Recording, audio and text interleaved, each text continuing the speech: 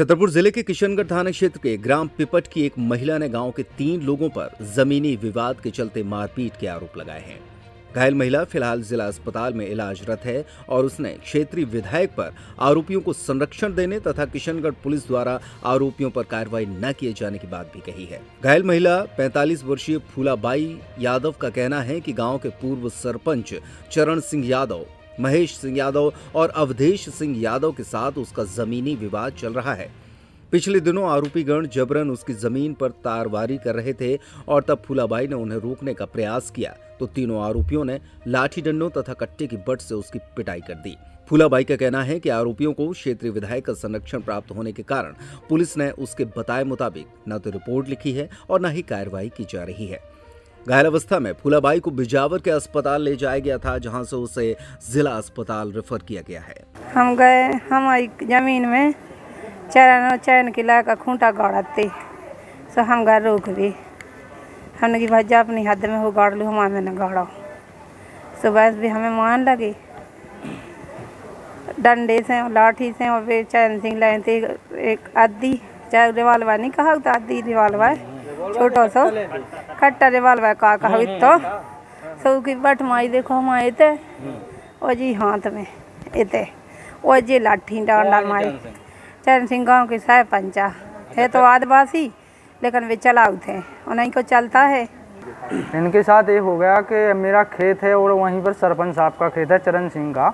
तो मेरे हम लोग दोनों भाई गए थे बिजावर। तो मेरी माँ वे अपनी तारबारी कर रहे थे। तो मेरा आधा खेत उनने अपने कब्जे में कर लिया। तो मेरी माँ ने बोला कि भैया हमारा खेत अपनी तरफ़ मतलब अपने हद में तारबारी करो। तो फिर वे तीनों लोग थे चरण चरण चरण के दोनों लड़के। तो फिर उन लोगों ने मारपीट कर दी। तो गाँव के लड़कों ने मेरे पास फ़ोन लगाया कि तुम्हारी माँ घायल अवस्था में पड़ी है। तो मैं आया तो वहाँ बेहोश अवस्था में मिली। कैसे मारपीट की? कौन है ये चरण सिंह? चरण सिंह वर्तमान सरपंच तो नहीं है मतलब मतलब उन्हीं के पक्ष का एक आदिवासी सरपंच है किशनगढ़ में। हाँ। कैसे से मारपीट की है? तो चरण कट मतलब अद्दी लिए हुआ था तो उसने बट मार दी मुँह में और हाथों में और उसके लड़के ने दोनों ने डंडे से पिटाई की।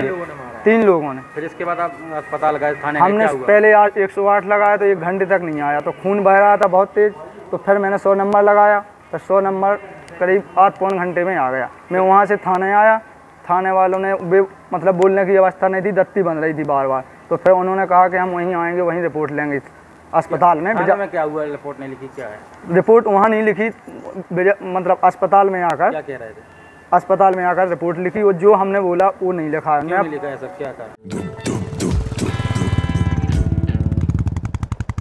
अब बुलेट के दीवानों के लिए मार्केट में आ गई है एक नई sensation bullet next generation new standard 350